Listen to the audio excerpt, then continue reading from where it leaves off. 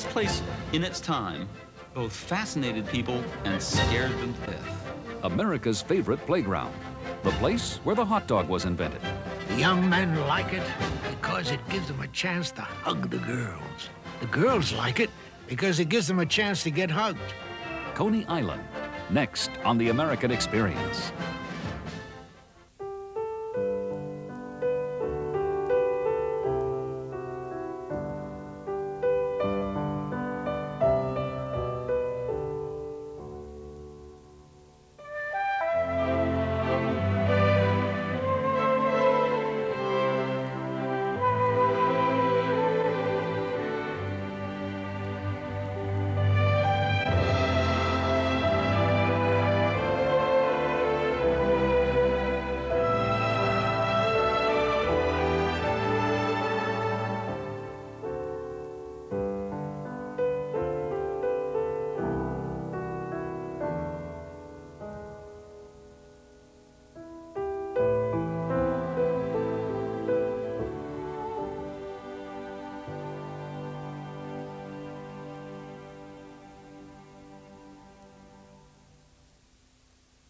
Major funding for this series is provided by the Corporation for Public Broadcasting and by the financial support of viewers like you.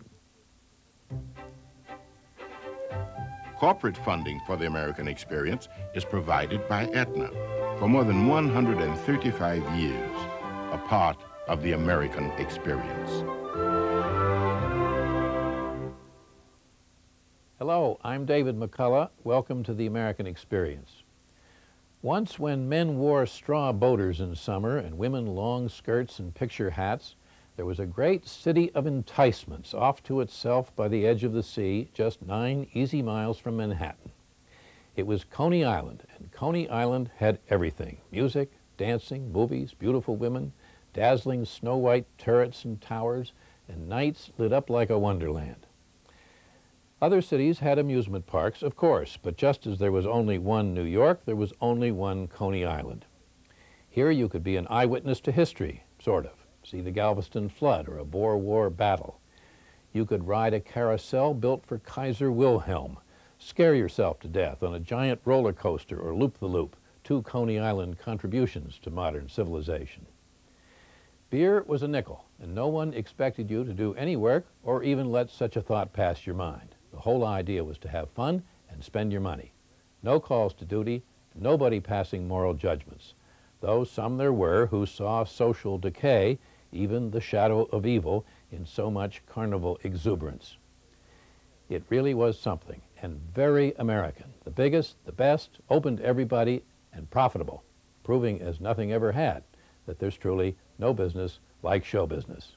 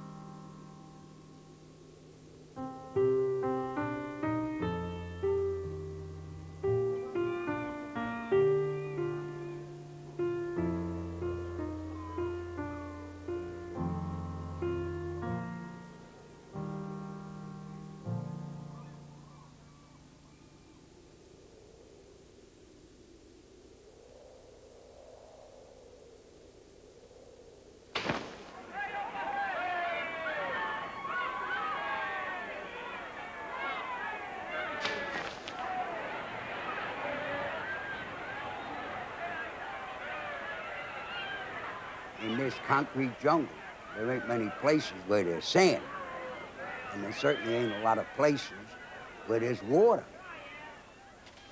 And you combine water with sand, and lo and behold, you got a beach. See that? The guy who invented that? That was marvelous.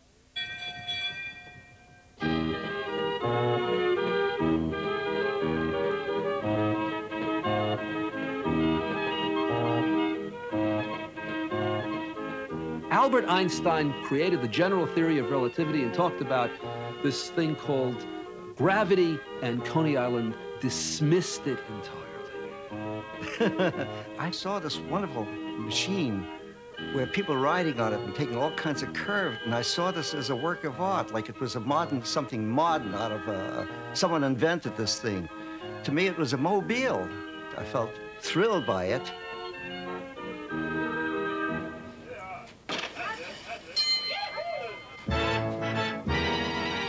It was the nature of going to Coney Island that you would encounter strangeness.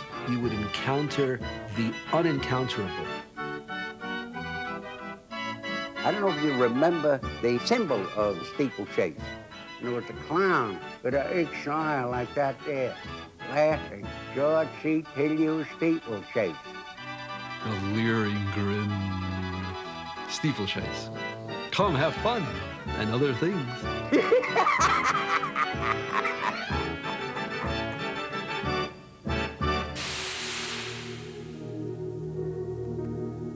It is blatant. It is cheap. It is the apotheosis of the ridiculous. But it is something more. It is like Niagara Falls, or the Grand Canyon, or Yellowstone Park. It is a national playground. And not to have seen it is not to have seen your own country.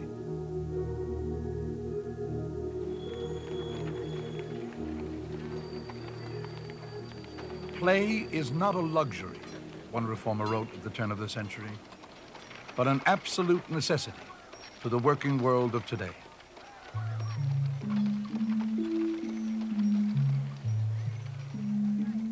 By 1895, a spit of land at the foot of Brooklyn had become the most extravagant playground in the country, and the summer safety valve for the most explosively packed metropolis on Earth. But Coney Island was more than a playground. The three great amusement parks that flourished there turned the machines of industry into instruments of play and let loose the bright forces and dark possibilities of a vast democratic culture. Coney Island astonished, delighted, and appalled the nation and took America from the Victorian age into the modern world.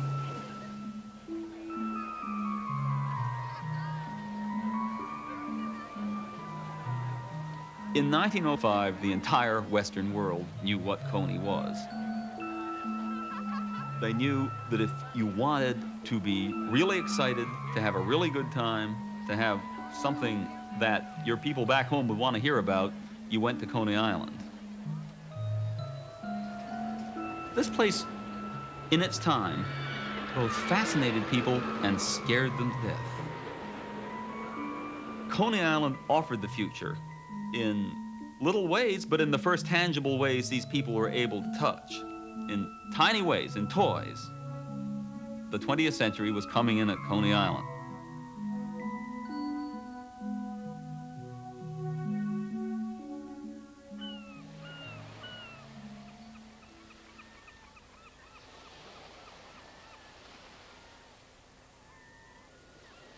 On September 1st, 1609, one day before he discovered Manhattan, Henry Hudson discovered Coney Island, a five-mile-long waste of sand dunes, scrub grass, and conies, the wild rabbits that gave the place its name. Coney was still a wasteland two centuries later, when in 1847, a side-wheeler from Manhattan began tying up at a makeshift pier on the island's western end. Out on the beach, men served clams and beer under a crude pavilion. Amidst raucous bouts of three-card monte, and a dice game called Chuck-a-luck. It is a well-known fact, one visitor complained, that picnics are often arranged for the sole benefit of pickpockets, prostitutes, and swindlers. Dead bodies were sometimes found rolling in the surf.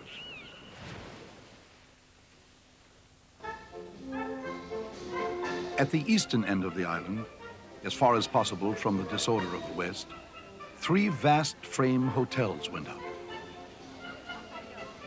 By the 1870s, the Brighton Beach, the Manhattan Beach, and the Oriental hotels were drawing respectable families and their servants for the whole summer. The proprietors piped in fresh water from the mainland, offered band concerts every evening, and paid detectives to patrol the beaches, where the guests were mastering the difficult art of sea bathing.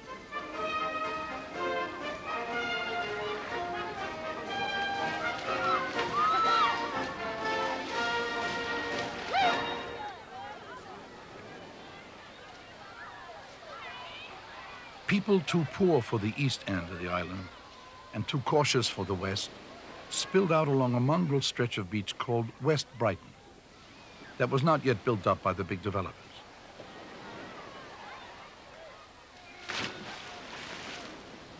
What crowds of people.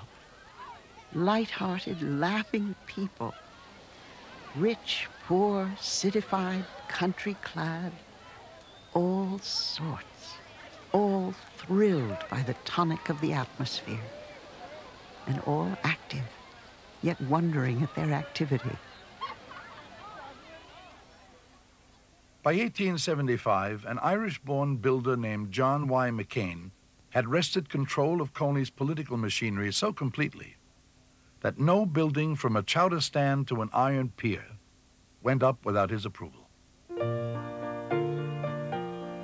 During McKane's reign, the island became a showcase for the wonders of the machine age. In 1876, the centerpiece of the Philadelphia Exposition was moved to Coney. An observation tower, whose steam-powered elevators lifted people 300 feet above the sea. It was the tallest structure in the United States.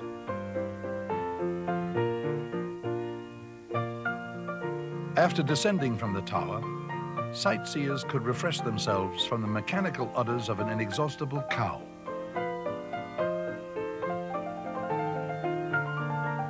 Daring bathers could go for nighttime swims, pulling themselves along ropes under the hissing blaze of primitive arc lamps. People called it electric bathing. Afterward, they could eat a novel kind of hot, fast food. Its inventor, Charles Feltman, called them Coney Island Red Hots. Others, uncertain of their ingredients, called them hot dogs. In 1884, Lamarcus Thompson invented a gravity-powered ride he called a switchback railway. The roller coaster was born. Before long, there were refinements. The loop-the-loop and the flip-flap railway. The flip-flap could take only four passengers at a time, frequently damaged them, and soon went out of business. Coney Island, our popular summer resort, has been a suburb of Sodom. Indeed, Sodom bore no comparison to this place for vileness. One cannot speak in public of the scenes which are daily enacted at that resort, and by which young people of both sexes are polluted. Reverend A.C. Dixon, The New York Times. Houses of prostitution are a necessity on Coney Island and I don't propose to interfere with the gambling at Brighton Beach and Sheepshead Bay. After all, this ain't no Sunday school. John Y. McKane. By 1893, McKane had become an impediment to the island's growth. The New York Times declared that Coney Island had become Sodom by the sea and worried that its reputation would keep people away.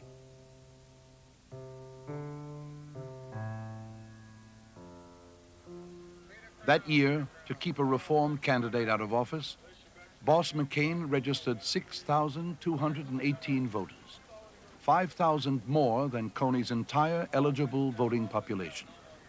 And on election day, had his police beat and jail the state officials sent to keep him from rigging the polls. It was the boss's last victory.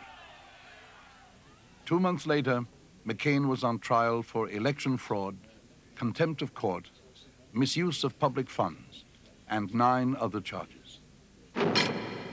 With Mr. McKane now in Sing Sing, it remains to be seen how far the keepers of the resorts can make their places attractive without vice. The experiment will be interesting.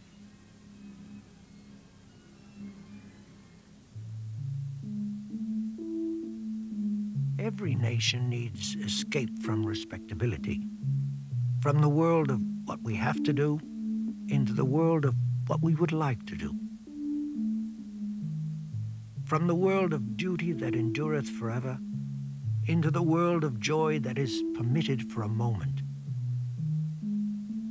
Perhaps Coney Island is the most human thing that God ever made.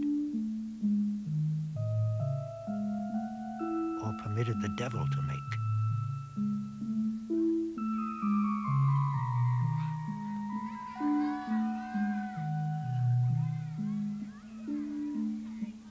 By the last decade of the 19th century, there were more than three million New Yorkers.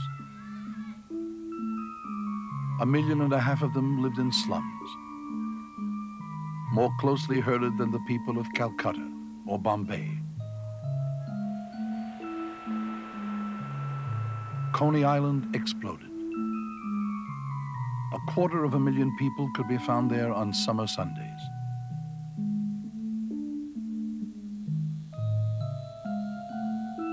Thomas Edison's incandescent light began burning across the island.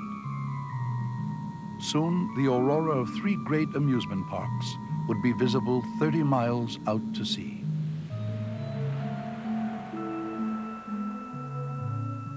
In 1896, the motion picture camera was perfected.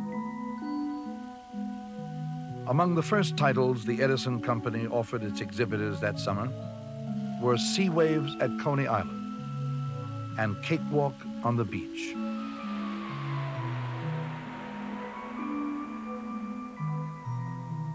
Youth is extravagant to prodigality with itself. It is drunk with its own passionate, intoxicating perfume.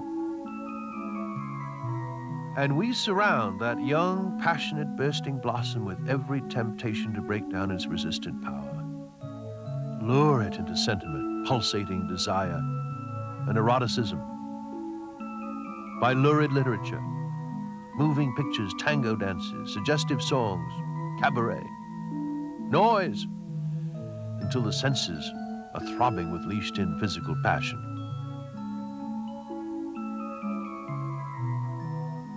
People are always scared by change, and Coney represented change of a particularly powerful and picturesque kind. If you go to a place that's only a streetcar ride away, where the rules of behavior are entirely changed, even the people who are enjoying it are going to realize that something strong and transforming is happening to them. They're, they're going to uh, they're going to be made nervous by the very things that give them pleasure.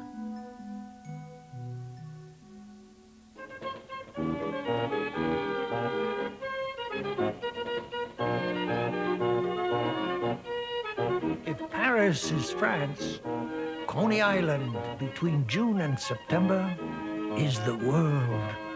George C. Tilyou.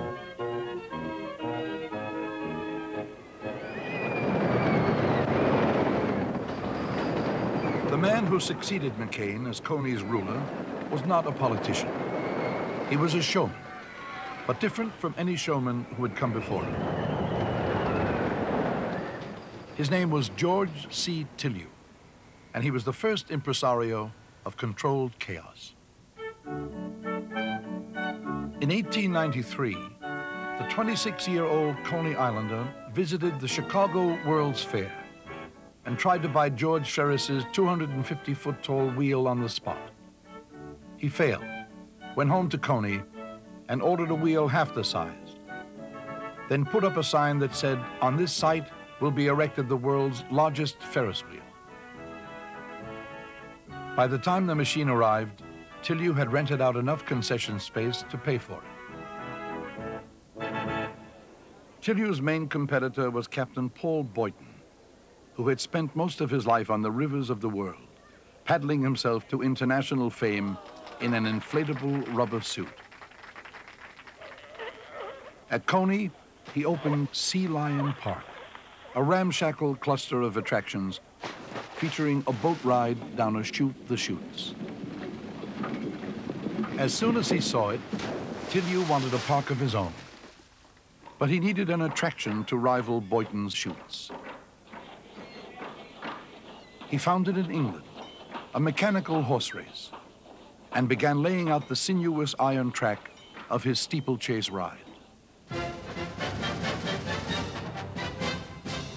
In 1897, Steeplechase Park opened its doors for the first time. The young men like it because it gives them a chance to hug the girls. The girls like it because it gives them a chance to get hugged. Everybody likes it because it is cheap fun, real fun, lively fun. It realizes its motto, half a mile in half a minute and fun all the time.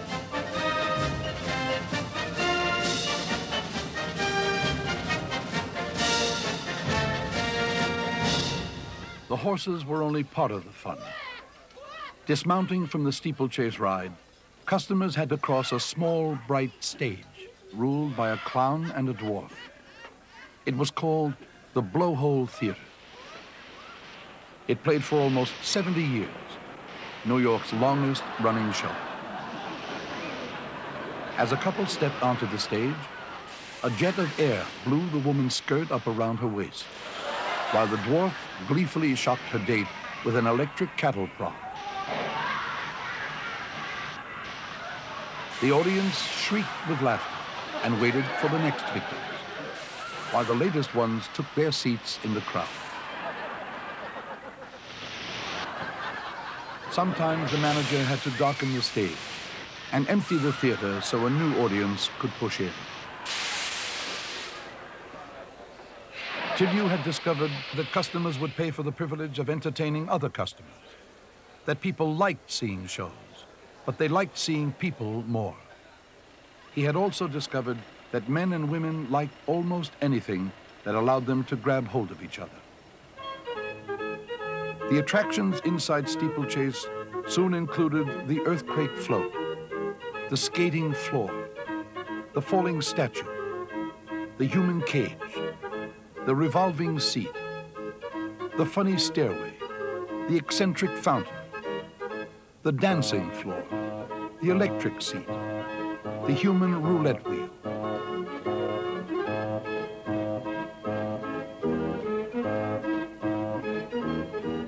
Time was when the place was shunned by ultra-respectable New Yorkers who went instead to Manhattan Beach. But nowadays, Coney is visited by all classes.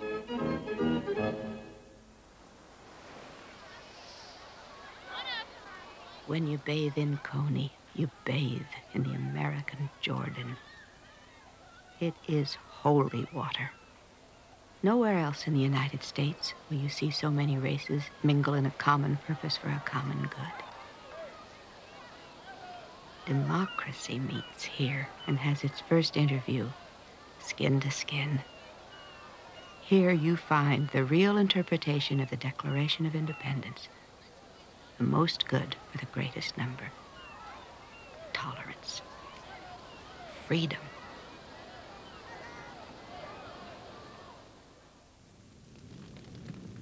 On July 28, 1907, fire broke out at Steeplechase, in the Cave of the Winds. The big wooden park burned for 18 hours. The next day, Tilyou had a sign up where the entrance had been. To inquiring friends, I have troubles today that I did not have yesterday. I had troubles yesterday that I have not today. On this site will be erected shortly a better, bigger, greater steeplechase park. Admission to the burning ruins, 10 cents.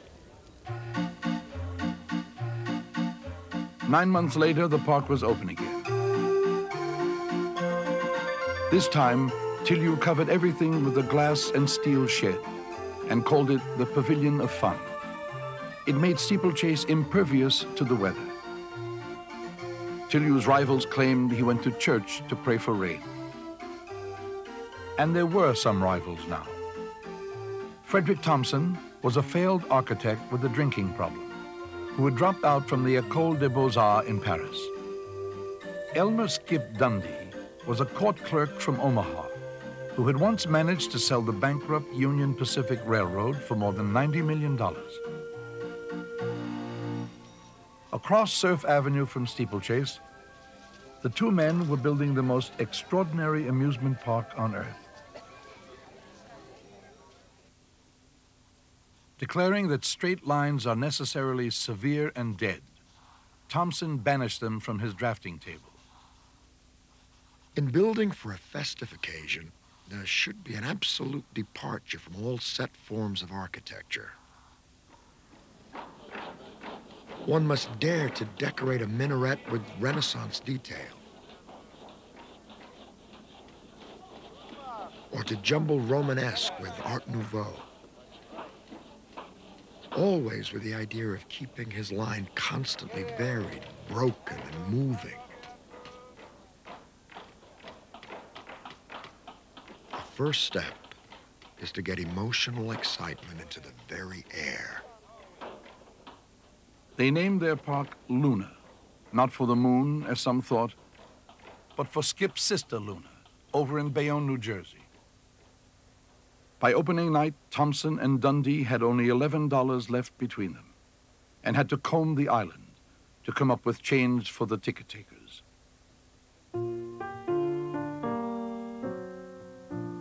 At 8 o'clock on the evening of May 16, 1903, the gates opened.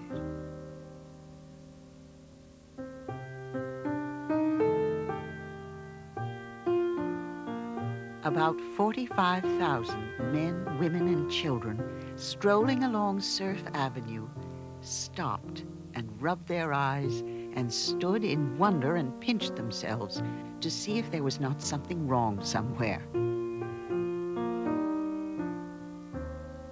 Nobody had ever seen anything like it. Thompson and Dundy had decorated their forest of towers and minarets with 250,000 incandescent lights.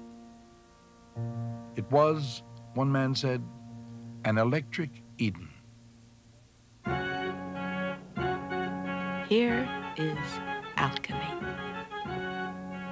Here in full view of thousands, in tiers of boxes and promenades, the spotted horses, the clowns, the acrobats, jugglers, hoop artists, intellectual elephants, Arabian pyramidists, tumblers, contortionists, disport under the crackling lashes of the ringmaster.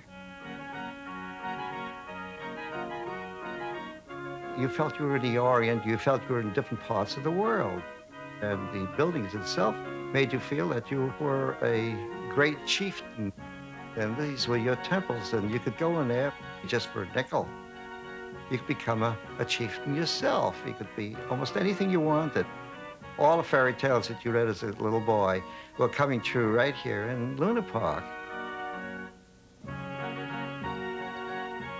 Ah, God, said one visitor, what might the prophet have written in Revelation if only he had first beheld a spectacle like this?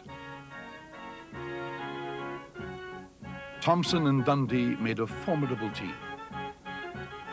In just six weeks, they had paid back every cent of the $700,000 it had cost to build Luna Park. By season's end, they were rich men.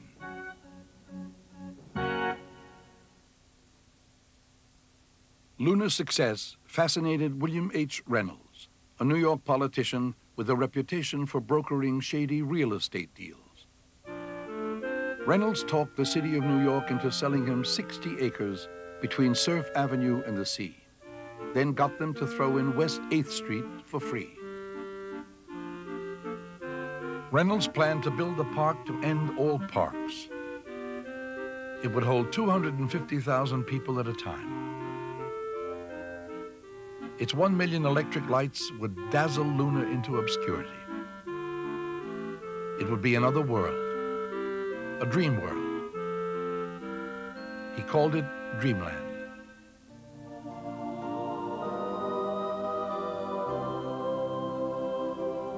All through the first winter of Luna's success, tall white towers rose across the street.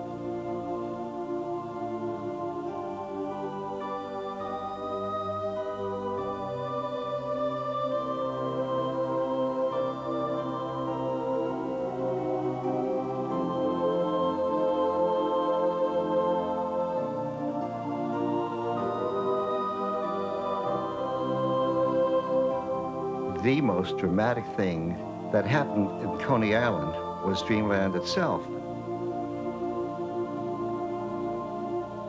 You felt that you were being elevated into another class, into a, a higher position in life. It was a more cultural thing. It was a more graceful thing. Reynolds built his park on a colossal scale. It was to be a catalog of the future, an inventory of the strange, and a compendium of the century to come.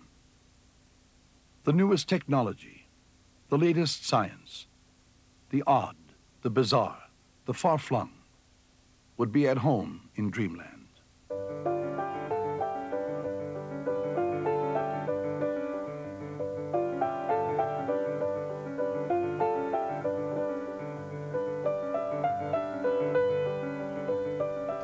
Was spread beneath a 375-foot beacon tower. At night, its imperial searchlight beamed 50 miles out over the Atlantic, disorienting ships on their way into New York Harbor. Beneath it, gondolas drifted through the canals of Venice. Trains carried patrons through the Swiss Alps, where they were cooled by blasts of refrigerated mountain air. There was a train of the future.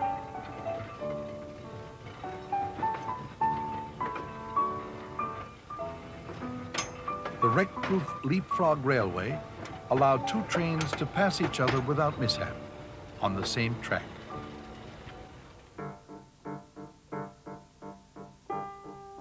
Human beings from every part of the globe were brought to Dreamland and put on display.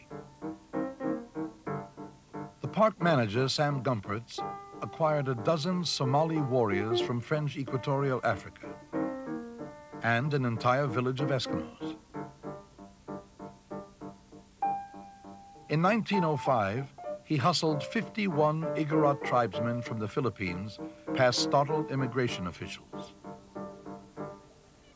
Gumpertz himself recruited all the citizens of Lilliputia, a half-scale European village, which served as year-round home to 300 midgets.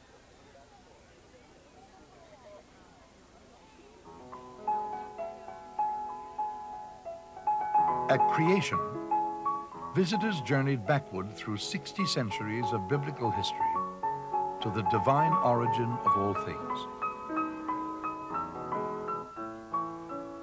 Next door, vast panoramic exhibits foreshadowed the end of the world and hell. Here is a young girl who has bought herself a new hat and is contentedly admiring herself in the mirror. A couple of small and apparently very hungry devils steal up to her from behind and seize her by the arm. She cries out, but too late. The devils lay her in a long, smooth chute. Tongues of red paper flame rise up, and down the chute into the pit slides the girl, the mirror, and the hat.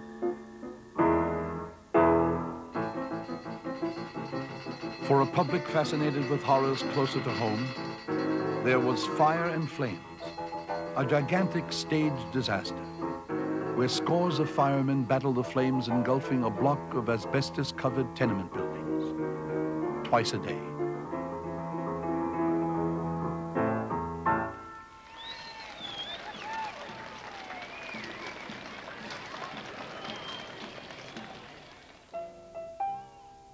The infant incubator forms one of the most interesting and thoroughly scientific features of Dreamland.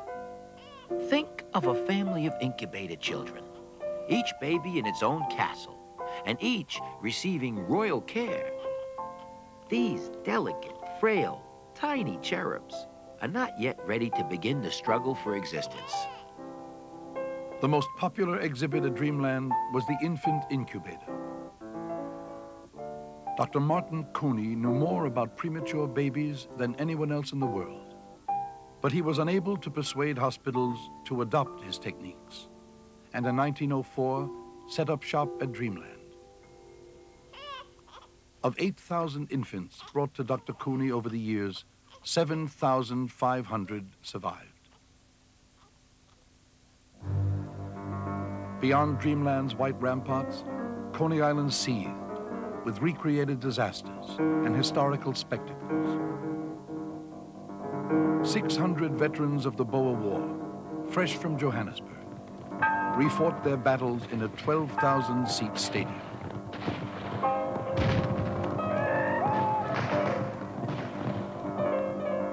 Galveston disappeared beneath the flood. Mount Pelée erupted hourly, while across the street, Mount Vesuvius showered death on the people of Pompeii. Crowds surged through the dance halls and restaurants and saloons along the Bowery.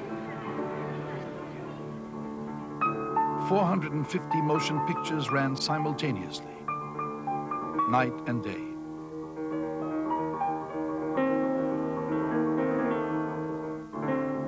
Many of the shows featured the spectacles of Coney itself.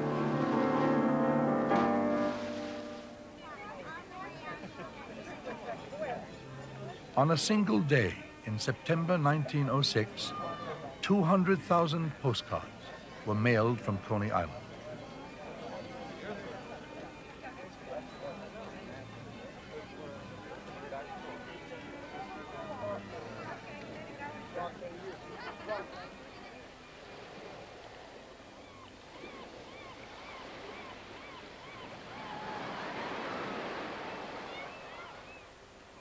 Coney Island was a kind of magazine of life. Except instead of reading about it and seeing color pictures, you could experience it, you could participate in it. Girly shows, premature babies on display, trips on these crazy rides. This was a great acculturating experience, acculturating you to the nature of life. Life was not a simple, pure, dainty, demure thing. Life was unpredictable, life was confusing, life wasn't fair, and it all happened to you. And there was no morality that said you had to be this way, you had to be that way. It was a perpetual circus. It had everything that Barnum could dream of and more. If you want to get a sense of the temper of the nation at the time Coney was at its peak, you could not do better than to go to Thompson and Dundy's Naval Spectatorium in Luna Park, where for 25 cents you could see a show that had in its entirety the navies of the world, Japan, Portugal, Germany, coming in and shelling Manhattan, and Admiral Dewey's fleet steaming out and sinking every one of them. When it was at its most popular, it most perfectly reflected its culture. And you know, part of that was it showed people what they wanted to see or what they wanted to think their country was going to become. And I think part of that was just the excitement of electricity. Dreamland never became as popular as Luna or Steeplechase. But its cascade of lights completed a skyline unlike anything else in the world. Coney was more than three big amusement parks. It was a city. The newspapers called it the City of Fire. With the advent of night, a phantom city of fire rears itself skyward from the ocean. Thousands of glowing sparks glimmer in the darkness. Threads of golden gossamer tremble in the air, weave translucent patterns of fire, hang motionless, in love with the beauty of their own reflection in the water. Fabulous beyond conceiving, ineffably beautiful is this fiery scintillation. Maxim Gorky.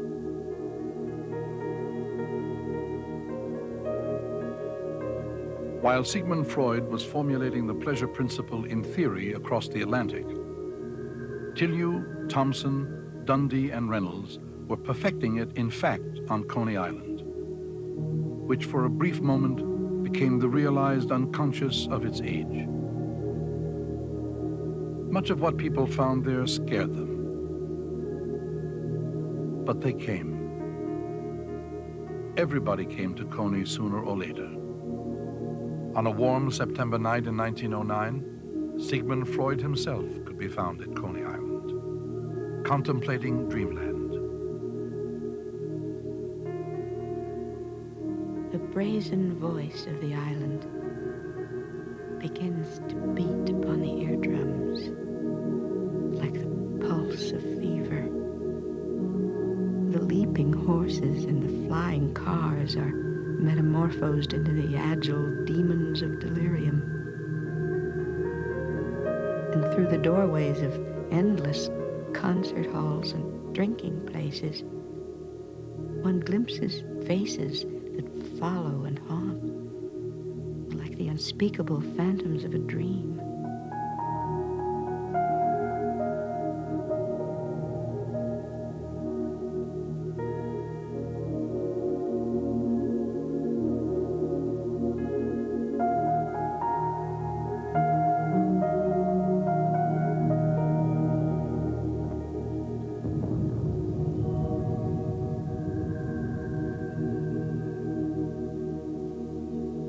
Thompson and Dundy's private herd of elephants roamed through Luna Park.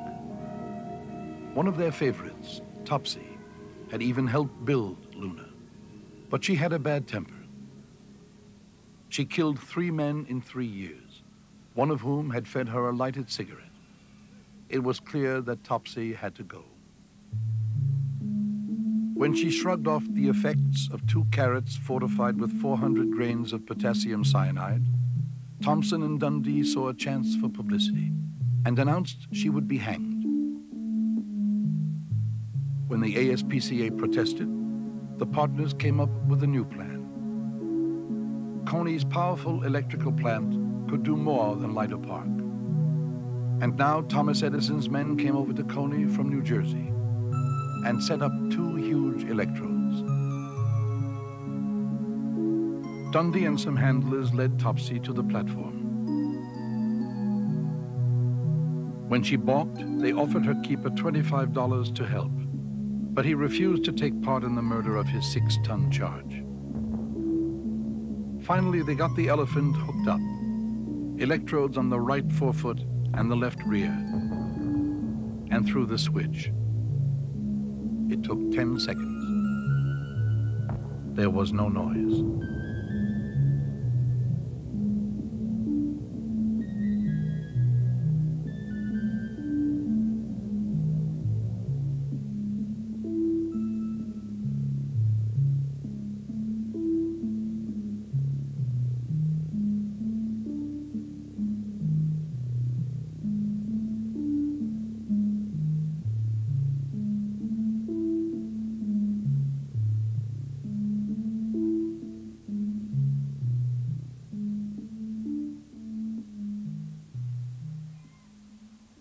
Sun is set,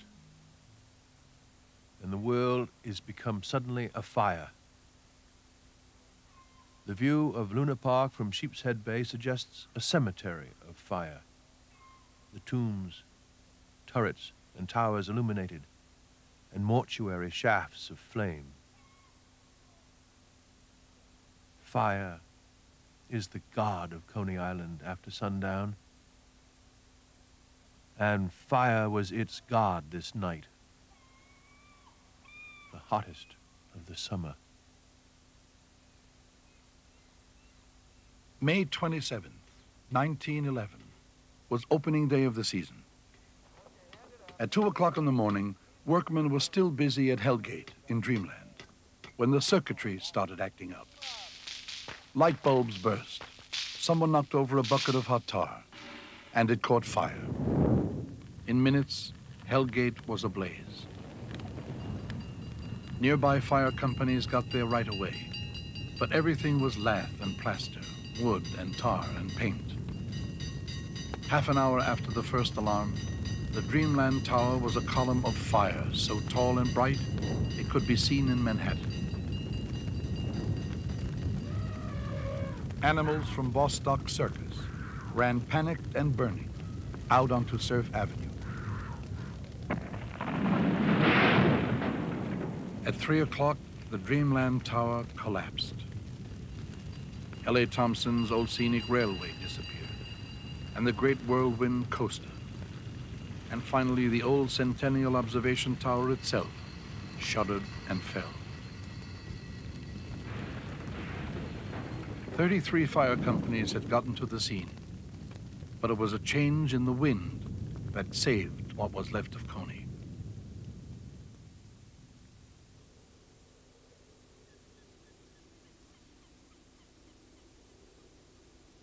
At dawn, the firemen packed up and went home. It would have been a perfect opening day, warm, still, and cloudless. Fred Thompson found Dreamland's manager, Sam Gumpertz, staring at acres of smoking rubble and wordlessly shook his hand. All that was left of Dreamland was the pretty waltz that had been written to celebrate its opening just seven seasons earlier.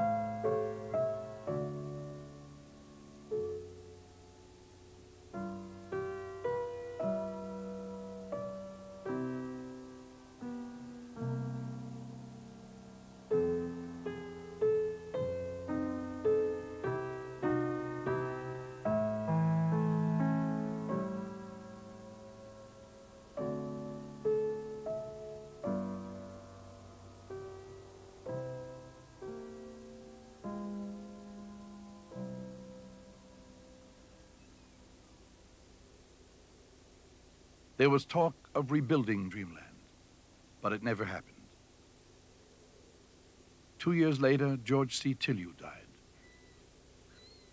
Fred Thompson went bankrupt and lost Luna Park. World War I came. The public fascination with recreated disasters declined.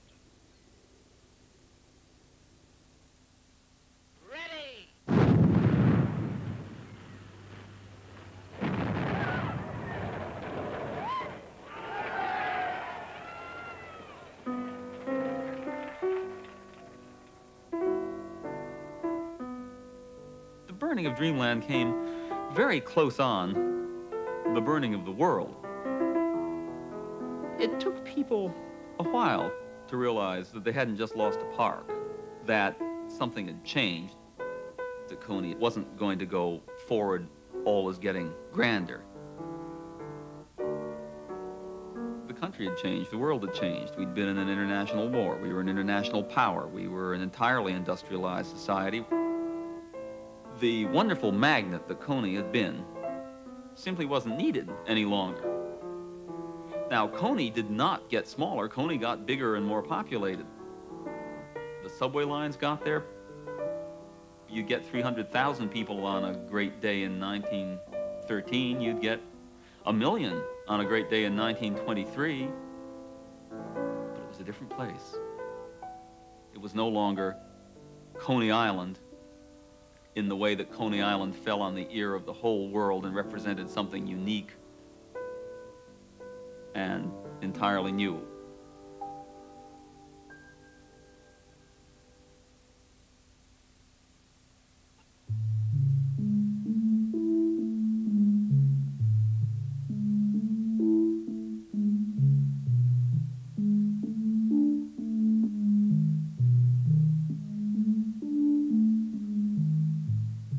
Suddenly I am at the seashore and no recollection of the train stopping.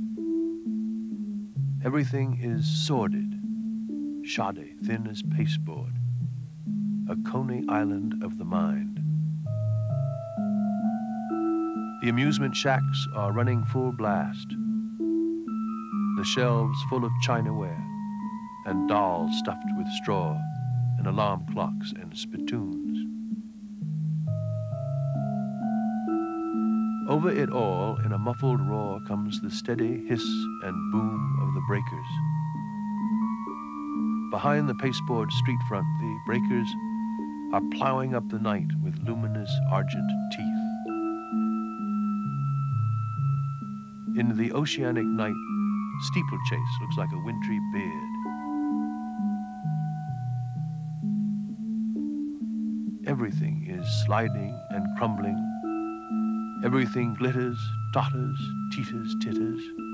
Everything is a lie, a fake, pasteboard. Everything is made of nuts and bolts. The monarch of the mind is a monkey wrench. Sovereign pasteboard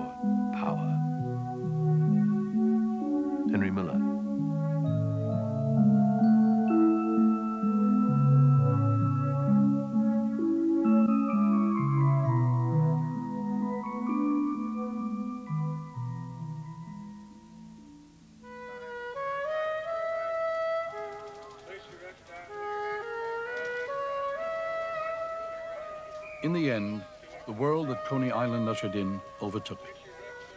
The towers of Luna Park were just as tall and just as bright.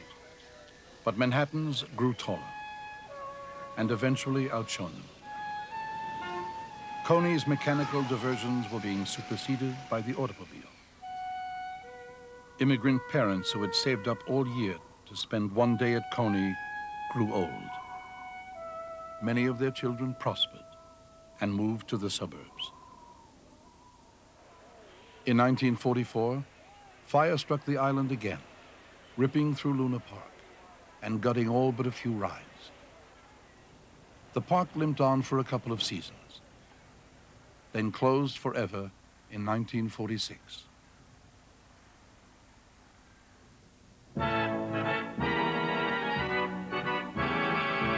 Of the great parks, only steeplechase kept going.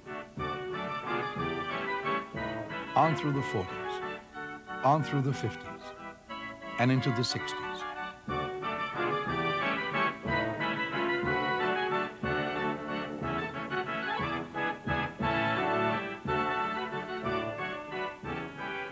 Then, on the night of September 20th, 1964, while Auld Lang Syne, and there's no business like show business, played out over the public address system, a bell chimed once for each of the 67 years Steeplechase Park had been in business.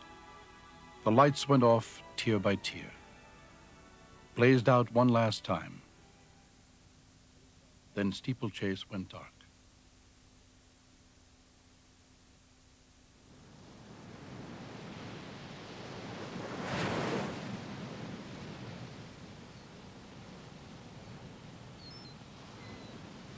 When land and water meet, wonderful things always happen.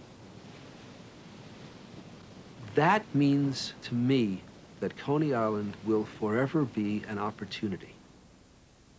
And I don't think that what Coney Island should be in people's minds is let's bring back what was, but rather let's consider it a frontier to do the thing of the future.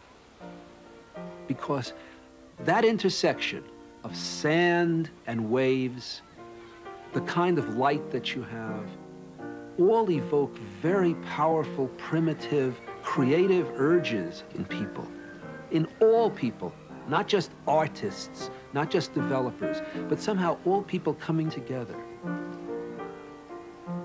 And they continue to come together, even though the cyclone is starting to show some age and the wonder wheel is creaking a little bit more slowly. But tomorrow will be different, and, and I hope, I deeply believe that Coney Island will provide the opportunity to do a special thing there as it was a special thing for a number of generations already.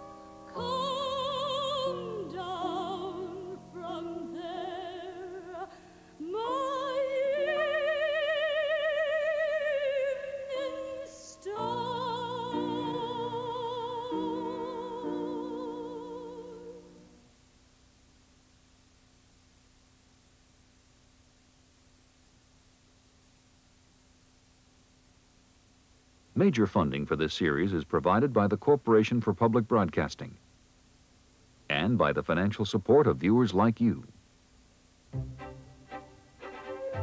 Corporate funding for the American experience is provided by Aetna for more than 135 years, a part of the American experience.